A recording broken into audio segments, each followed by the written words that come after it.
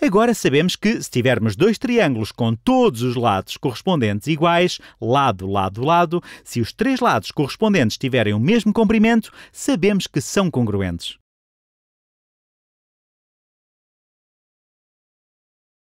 Neste vídeo quero ver se há outras propriedades que nos permitam dizer se dois triângulos são congruentes. Lado, lado, lado, permite. E se for ângulo, ângulo, ângulo? Vou escrever isto aqui. E se for ângulo, ângulo, ângulo? Neste caso, imaginem que temos um triângulo assim. Temos um triângulo assim e outro assim. Se soubermos que este ângulo é congruente com este, que este ângulo é congruente com este, ou seja, tem amplitudes iguais, e que este ângulo é congruente com este, podemos afirmar que estes dois triângulos são congruentes? Neste primeiro caso parece que sim, pelo menos pela forma como os desenhei. Mas se pensarmos bem, podemos ter ângulos correspondentes com a mesma amplitude, ou congruentes, e se aumentarmos ou reduzirmos um dos triângulos, manteremos essa propriedade. Por exemplo, se tivéssemos este triângulo, é semelhante Estou a usar o termo no sentido que lhe atribuímos no cotidiano. Tem uma forma igual à destes triângulos e tem os mesmos ângulos. Este ângulo é congruente com este, este aqui embaixo é congruente com este e este é congruente com este. Todos os ângulos destes três triângulos são iguais. Os ângulos correspondentes têm a mesma amplitude. Mas é evidente que este triângulo não é congruente com os outros dois. Os lados têm comprimentos muito distintos. Este é muito mais curto do que este este é muito mais curto do que aquele e este também é muito mais curto. Então, só com ângulo, ângulo, ângulo, não podemos dizer que um triângulo tem o mesmo tamanho e a mesma forma. Tem a mesma forma, mas não o mesmo tamanho. Assim sendo, isto não implica congruência. Ângulo, ângulo, ângulo não implica congruência. Implica, isso sim, embora ainda não tenhamos falado sobre isso, que sejam triângulos semelhantes. Ângulo, ângulo, ângulo implica que sejam semelhantes. Vou escrever aqui. Implica que sejam triângulos semelhantes semelhante. Talvez estejam acostumados à palavra e ao seu uso diário, mas em geometria, semelhante tem um significado muito mais específico. Objetos semelhantes têm a mesma forma, mas não têm de ter o mesmo tamanho. Tudo o que for congruente, por ter o mesmo tamanho e a mesma forma, também é semelhante. Mas nem tudo o que é semelhante é congruente. Por exemplo, este triângulo é semelhante, ou melhor, todos estes triângulos são semelhantes entre si, mas não são todos congruentes. Estes dois são congruentes se os lados forem iguais. Não os desenhei exatamente iguais, mas se soubermos que os lados são iguais, podemos dizer que são congruentes. Mas nenhum deles é congruente com este, porque este é muito maior, tem a mesma forma, mas não tem o mesmo tamanho. Assim, AAA não implica congruência, pelo que não temos um critério AAA para congruência de triângulos. E o lado ângulo-lado? Vamos experimentar este. Lado ângulo-lado. Comecemos então com um triângulo. Comecemos com um triângulo assim. Tem um lado azul, outro cor-de-rosa e outro magenta. Agora suponhamos que temos outro triângulo que tem, este é o lado azul, um lado com o mesmo comprimento do lado azul, vou desenhá-lo assim, tem o mesmo comprimento do lado azul, este comprimento é igual a este, tem um ângulo congruente logo a seguir, este ângulo e este, neste triângulo, têm a mesma amplitude, são congruentes, e o lado seguinte tem o mesmo comprimento deste. Este lado tem o mesmo comprimento deste. O comprimento é exatamente o mesmo. Como só sabemos que dois dos lados correspondentes têm o mesmo comprimento e que o ângulo entre eles, e isto é importante, o ângulo entre os dois lados correspondentes também tem a mesma amplitude. Podemos fazer o que nos apetecer com o último lado. Terá de começar aqui, neste ponto, e podemos rodá-lo de forma a formar qualquer triângulo que queiramos.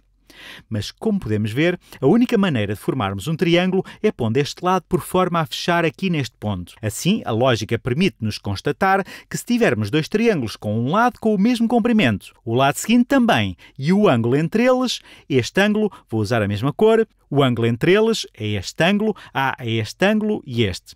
O primeiro lado está azul e o segundo a cor de rosa. Já está escrita cor de rosa. Podemos ver que se dois lados tiverem o mesmo comprimento, se dois lados correspondentes tiverem o mesmo comprimento e o ângulo correspondente entre eles também for igual, tem de ser congruentes, não temos mais onde pôr este terceiro lado. Então, L a L, por vezes isto também é considerado como um postulado ou um axioma, ou se tiver sido provado, também pode ser considerado como um teorema. Implica que os dois triângulos sejam congruentes. Vamos acrescentar esta ferramenta à nossa caixa. Já tínhamos o critério LLL, agora acrescentamos o critério LAL para a congruência de triângulos. Se dois lados e o ângulo entre eles forem iguais, se dois triângulos tiverem lados e ângulos correspondentes iguais, podemos afirmar que são triângulos congruentes. Vou experimentar abordar as várias combinações. E se tivermos ângulo, lado, ângulo? Vou experimentar. O que acontece se tivermos ângulo, lado, ângulo? Voltemos a este aqui. Aliás, vou desenhar um triângulo novo para cada caso. Ângulo, lado, ângulo. Vou desenhar um triângulo aqui. Temos este triângulo, este é o lado, o lado é este. Primeiro vou desenhar o triângulo todo. Temos este triângulo, vou desenhar um lado aqui e outro aqui. Vou desenhar este ângulo a cor de laranja e este a amarelo. Se tivermos outro triângulo com um lado com a mesma medida, vou usar este lado azul. Se tiver um lado com a mesma medida e os dois ângulos das extremidades desse lado também forem iguais, será que este triângulo terá necessariamente de ser congruente? Vamos tentar explorar isso. Não são provas formais, estamos essencialmente a estabelecer postulados aceitáveis, critérios aceitáveis, para termos na mala de ferramentas que nos permitirão provar outras coisas. Este ângulo, vamos dar-lhe uma cor, terá a mesma amplitude neste triângulo e este ângulo amarelo terá a mesma amplitude deste. Não estamos de maneira nenhuma a limitar os lados. Este lado pode ter qualquer comprimento, mas tem de formar este ângulo. Pode ter qualquer comprimento, pode ir até onde quiser. Não lhe colocamos qualquer limite ao nível do comprimento.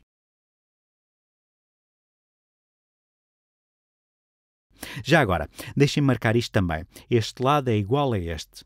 Este lado pode ter qualquer comprimento, não lhe impusemos nenhuma restrição.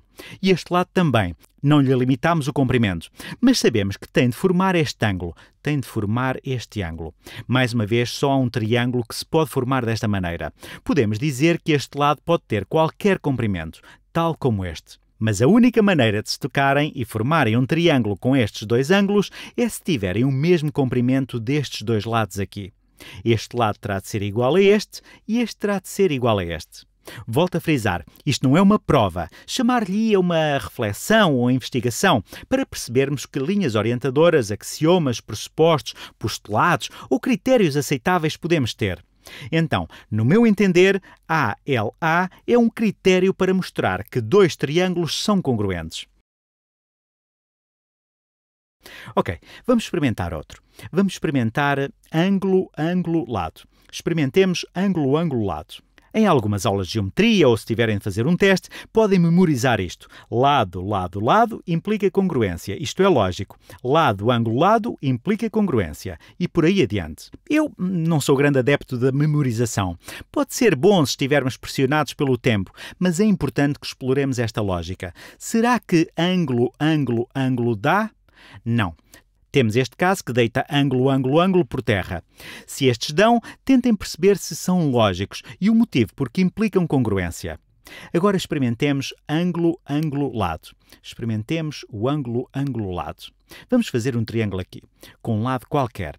Este vai ser mais interessante. Tem um lado, este é o lado, e depois tem dois ângulos. Vou desenhar os outros lados do triângulo. Desenho um a magenta e o outro a verde tem dois ângulos iguais e depois o lado. Suponhamos que tínhamos este ângulo, este ângulo aqui, não é preciso fazer este arco duplo, porque é o primeiro ângulo. Temos este ângulo que corresponde a este primeiro A. Depois temos este, que é o segundo A. Se houver outro triângulo com o lado com o mesmo comprimento, vou desenhá-lo assim, tem um lado com o mesmo comprimento, um ângulo nesse lado com a mesma amplitude, uma amplitude assim, e este lado pode ter qualquer comprimento. O comprimento deste lado não tem qualquer restrição, mas o ângulo na outra extremidade desse lado terá de ser igual a este ângulo verde. Por exemplo, pode ser assim, depois o lado verde é assim, pode ser assim e o lado verde ser assim. Aquilo que neste caso sabemos à partida é que este lado tem o mesmo comprimento deste, que este ângulo tem a mesma amplitude deste e este a mesma amplitude deste. O lado magenta pode ter qualquer comprimento e o lado verde também. Não lhe impusemos quaisquer limitações. Mas será que podemos formar algum triângulo que não seja congruente com este? É que a verdade é que este lado verde terá de tocar neste, aqui, e isto só acontecerá se começar aqui. Porque limitamos este ângulo. Então parece que ângulo, ângulo, lado implica de facto congruência. Vamos experimentar mais um, só para pormos à prova todas as situações. E se tivéssemos. Estou a ficar sem espaço aqui embaixo. E se experimentássemos uh, lado, lado, ângulo? Vou desenhar aqui um triângulo. Tem um lado aqui, outro aqui. E ainda não é preciso fazer estas marcas. Um lado, outro lado e outro lado. O que acontece se houver um triângulo com dois dos lados iguais e o ângulo seguinte também? Por exemplo, tem este lado, depois outro lado, mas não restringimos o ângulo, não restringimos este ângulo, mas restringimos o comprimento desse lado. Vamos usar cores. O lado azul é o primeiro, depois temos este lado magenta, que terá o mesmo comprimento deste aqui, mas vou desenhá-lo num ângulo diferente, a ver se conseguimos provar alguma coisa. Imaginemos que era assim. Melhor, vou fazer de uma forma ainda mais interessante. Vou tentar fazê-lo assim. Vou tentar fazê-lo assim. É um ângulo muito diferente. Mas agora tem de ter o mesmo ângulo aqui. Este ângulo tem de ser igual, tem de ser mais ou menos assim. Parece que conseguimos desenhar um triângulo que, tendo dois lados com o mesmo comprimento destes e um ângulo com a mesma amplitude deste, não é congruente. Temos este exemplo aqui. Fiz este ângulo menor do que este, estes dois lados são iguais, este ângulo é igual, mas a consequência disso é que este lado será mais curto neste triângulo. Quer dizer que lado, lado, ângulo não implica que tenhamos triângulos congruentes. Estes não têm necessariamente de ser congruentes. Não necessariamente. Nem sequer têm de ser semelhantes. Isto não implica congruência nem semelhança.